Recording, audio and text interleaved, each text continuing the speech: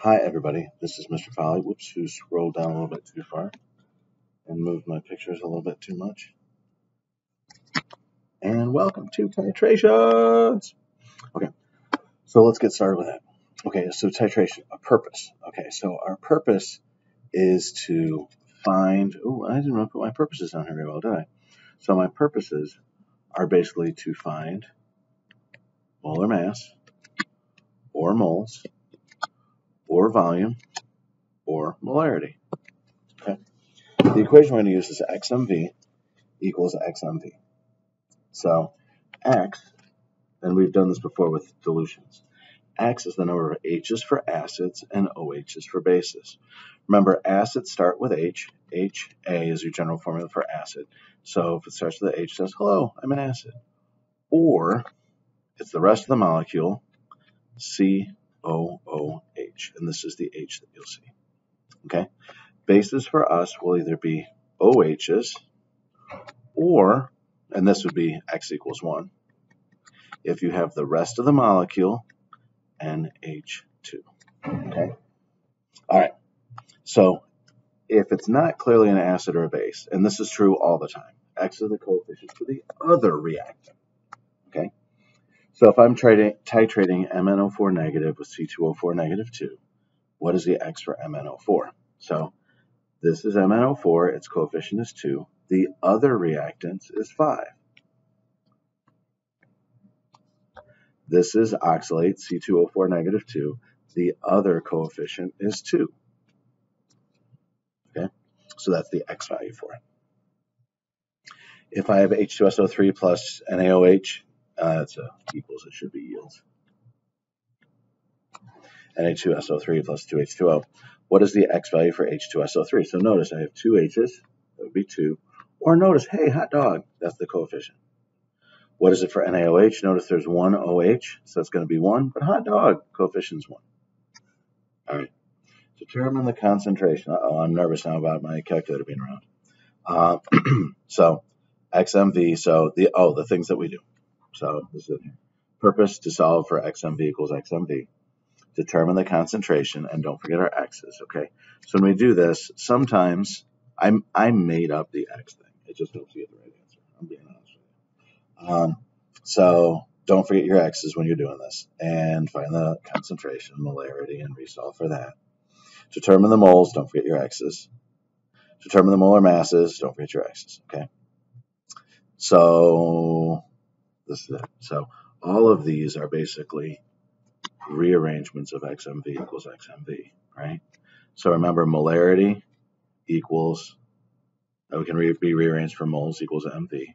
So molarity equals moles over liters. So that's where we get moles equals mv, right? So when you see that, you go, oh, mv equals moles. So we're really saying moles equals moles, or m1v1 equals moles. Okay. Um, and determine molar masses, and again, mass over molar mass is moles.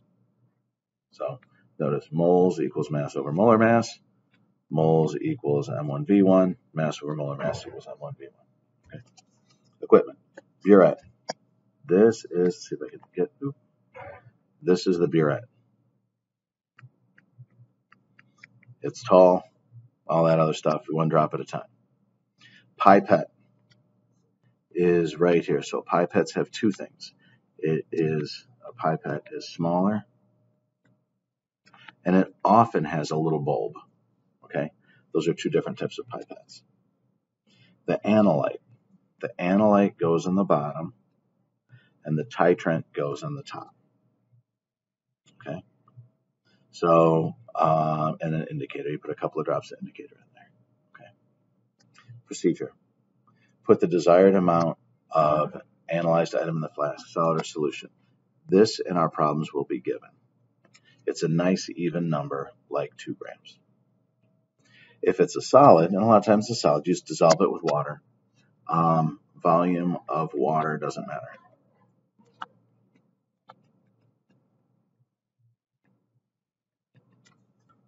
Add an indicator to the flask. Unless a natural color change happens, which is rare. It does happen sometimes, and it will tell you, oh, the solution changes color because of blah, blah, blah, blah, blah. Now, when this happens and it's rare, we've been working on this before, um, you usually have a D metal, an unfilled D metal. Rinse the burette with what you will put in the burette. So this is a common error. If you use water, H2O dilutes the molarity in burette. So you have to rinse it with what you're going to put in the burette. So see how this is orange? We would rinse the orange thing with, we would take that burette and rinse it with the orange thing and then put it back in. Record your initial burette reading, two decimal places. I don't care whether you struggle with what to do with it, you need two decimal places always in a burette. Add solution to the burette until the color change occurs and stop when the change is persistent. I'm going to add the word barely. Okay, so the color change should be light. A lot of times we use phenolphthalein, which is a light pink. And if you have a dark pink, you know you went too far. Record the final uh, burette reading, to decimal places. All right.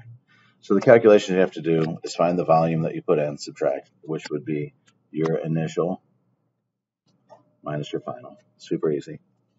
Find MV molar mass or mass. Now, some of the other calculations you might get is calculate or determine on what indicator you need. So an indicator is good plus or minus one pH unit. So there are many to choose from, and you really can't add too much. So it usually says two to three drops, but it doesn't really matter. Okay, so that's not going to be a real error. So if I want something that changes at a pH of 5 to 6, I would use methyl orange. Okay. If I wanted something that changed at 7, I would use litmus or I could use methyl red um, because that's within one of those. Okay. Um, so here we go. Write the net ionic equation. So on this one, notice how the Na is always soluble, so I'm going to get rid of that. So H3BO3 is weak, so I'm going to write it together. H3BO3 plus OH negative will give me H2O plus BO3 negative 3. And this 3 tells me that BO3 is negative 3. So to balance this, um, I need. Oh, why is this looking meaner than I want it to look? Um, okay, so I want three waters. So yeah, so that'll give me three H's and three OH's. Sorry, on. Triprotic boric acid is composed of hydrogen, boron, and oxygen. Sample of 1.67 grams of boric acid is titrated with that and requires that to reach the endpoint. What is the molar mass of boric acid? Now, in this case, um, we see that boric acid is H3BO3, but we're going to do this anyway. So we're going to do XMV equals XMV. Okay. Now that's my first thought. Okay. Now remember how this is moles, right? So I'm going to use this for the mass, X mass over molar mass equals XMV. Okay. So um, on this, H3BO3. Oops, did I forget to put my three? I put three waters. I forgot to put three OHs there. So my X value for boric acid is going to be three. Three H's, right? Or three is the other coefficient. The mass that I used was 1.67. I'm going to solve for the molar mass. And the molarity of my friend here is 2. And the volume of my friend here is 0.0432. Remember, got to go to liters solve for molar mass, put in your calculator, and you get 62.02 grams per mole. Titration was performed to determine the number of moles of H2SO3 in a 20 milliliter sample of water to predict the corrosion of pipes in the school. When 20 milliliters of an unknown H2SO3 is titrated, it required that many to do it. How many moles is in the sample? So again, we can simplify this a little bit. I'm going to write the equation out, H2SO3 um, when H2SO3 is titrated with KOH, going to give me K2SO3, which I really don't care about, plus H2O. Now notice I'm going to need two of those, and that'll give me two waters. Okay. So again, I'm looking at, I like to put my acids on the left and my bases on the right. Okay. So XMV equals XMV is my first thought. Good morning. And uh, number of moles of H2SO3. So I want to do moles of that. So that's going to be um, X for H2SO3 is going to be 2 times moles equals um, 1, because there's one OH and KOH, where the coefficient is 1. And the molarity of KOH is 0.155. And the volume of KOH is 0.01188. And when I solve for moles, I get that answer. So my calculator is not. I got it out of my room, and I don't have a, a calculator, but that's it. Country Time Lemonade needs to have that molarity um, concentration of monoprotic citric acid to meet quality taste requirements. When 25 milliliters of lemonade is titrated with 0.01, so this is lemonade. I'm going to call my lemonade um, citric acid, so I'm just going to call it HC. Titrated with 0.1, I notice it's monoprotic, so that's H. I'm going to emphasize that 1 meet taste requirements. 25 milliliters of lemonade is titrated with 0.1 molars. It requires this many titrate solution. Does the solution meet quality standards? What is the molarity? So I have H citric plus NaOH is going to give me Na cit plus H2O. Notice I don't even care what the citric acid really is, right? So I'm going to do, do it in here, X M1V1 equals x m2 v2. So in this case, um, what is the molarity? Uh, I'm trying to find the molarity, right? So for citric acid, x is going to be 1 because it's monoprotic. Searching for the molarity, I've used 25 milliliters, 0.025. Whoops, 0.205. 0.025 equals, I got 1 for NaOH. The molarity of that is 0.01. The volume used is 0.02475, and that's all for the molarity, right? So what I would do is 0.01 times 0.02475, and 0.025. And there's my molarity.